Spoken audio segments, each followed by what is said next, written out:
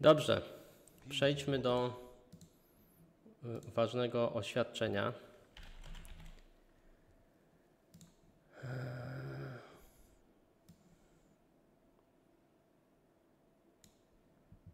Pięć złotych.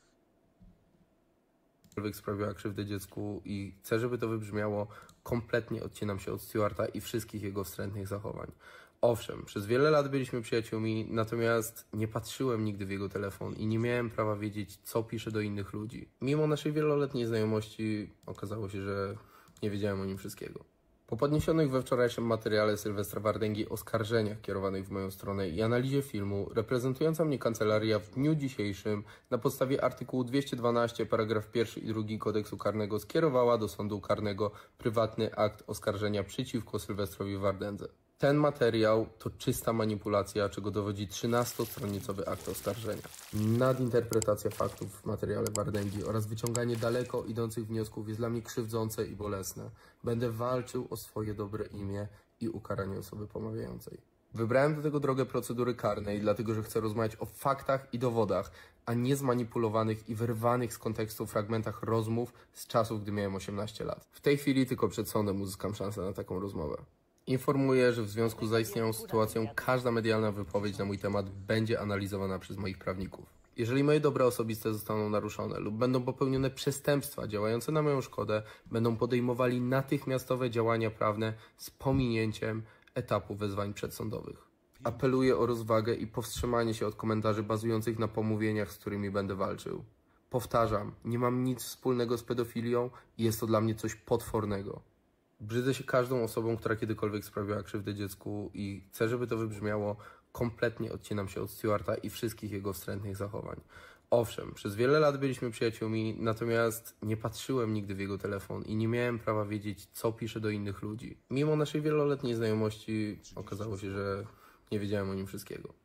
Po podniesionych we wczorajszym materiale Sylwestra Wardęgi oskarżeniach kierowanych w moją stronę i analizie filmu, reprezentująca mnie kancelaria w dniu dzisiejszym na podstawie artykułu 212 paragraf 1 i 2 kodeksu karnego skierowała do sądu karnego prywatny akt oskarżenia przeciwko Sylwestrowi Wardędze. Ten materiał to czysta manipulacja, czego dowodzi 13-stronicowy akt oskarżenia. Nadinterpretacja faktów w materiale Wardęgi oraz wyciąganie daleko idących wniosków jest dla mnie krzywdzące i bolesne.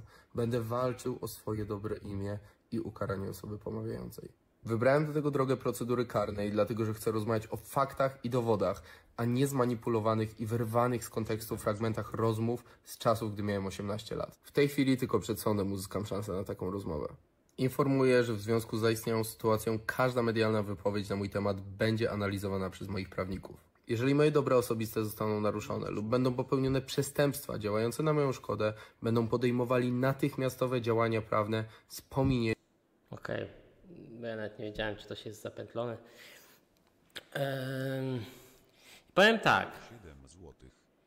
Ja w moim materiale mam wrażenie, że byłem mało oceniający.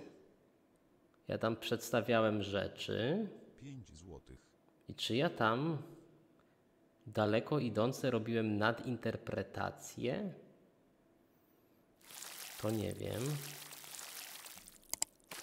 Musiałbym Pięć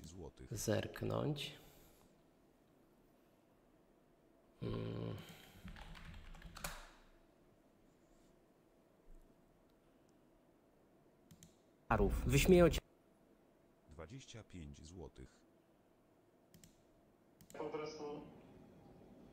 Po chwili zadzwonił Dubiel.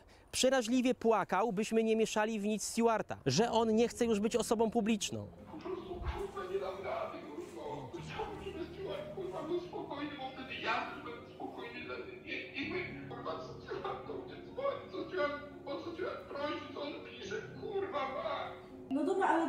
Było to dla mnie bardzo dziwne. Skąd w chłopakach ten strach i te emocje? Skąd ten płacz?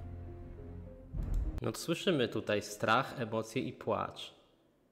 Chyba tutaj nie ma nadinterpretacji, nie? Gdy odwoziłem Faga.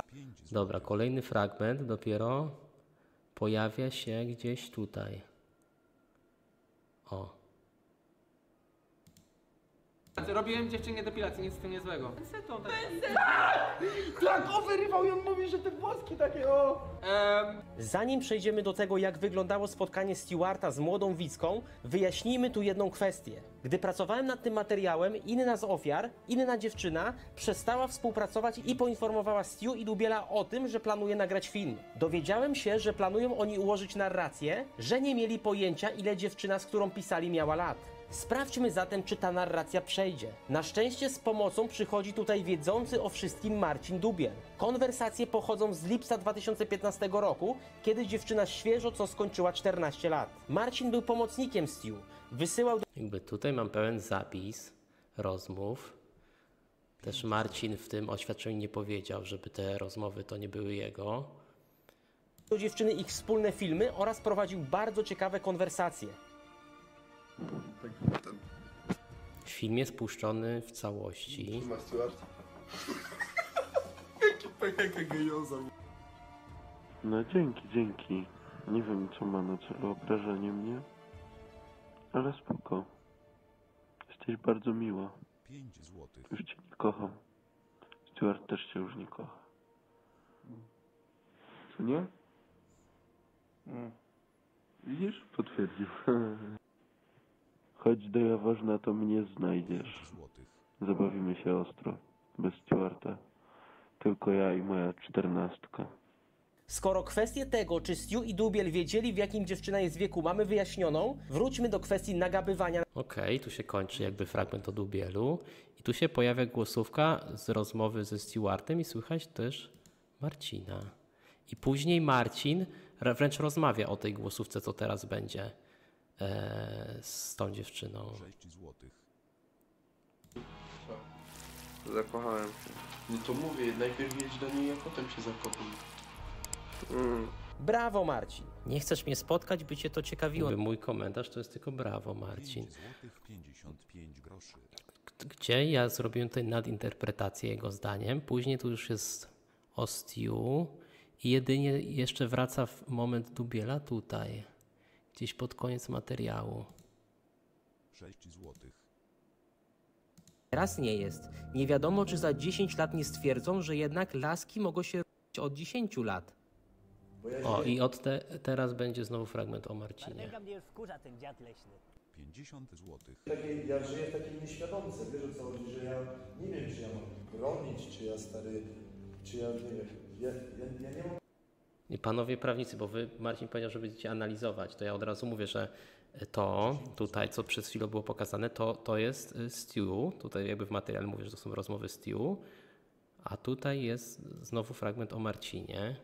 Ja żyję w takiej, ja żyję w takiej nieświadomce, wiesz To nie mówi Marcin, to mówi e, mm, Braxton.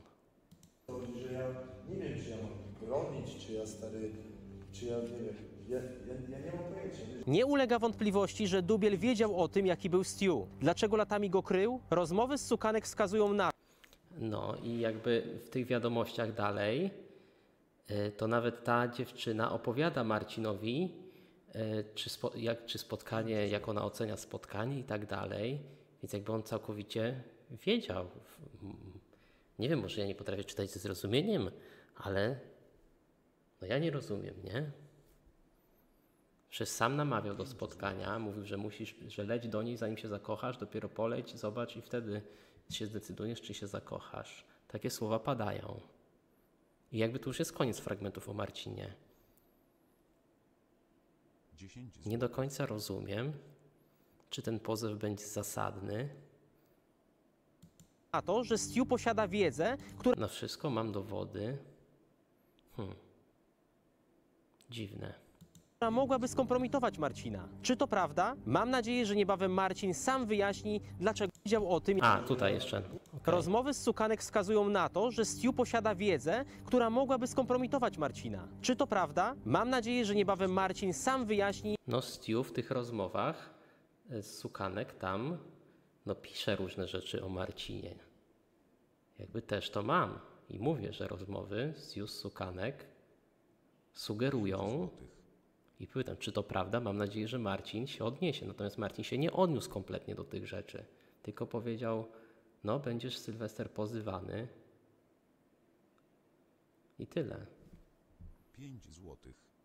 I dlaczego milczał latami? Ale nigdy nie dostałam żadnych, wiecie, dowodów, a jeżeli Stewart jest pomawiany, no to też bardzo. A ja nie mam żadnych dowodów w ogóle. Nie wiem.